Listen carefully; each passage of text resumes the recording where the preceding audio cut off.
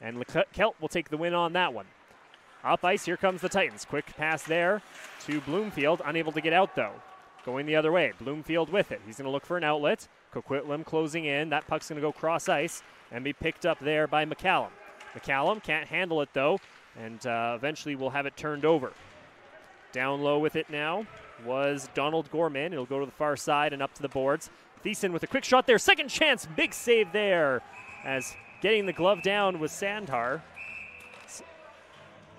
And Connolly unable to win that one. Looks like that's a false start, and we'll go again.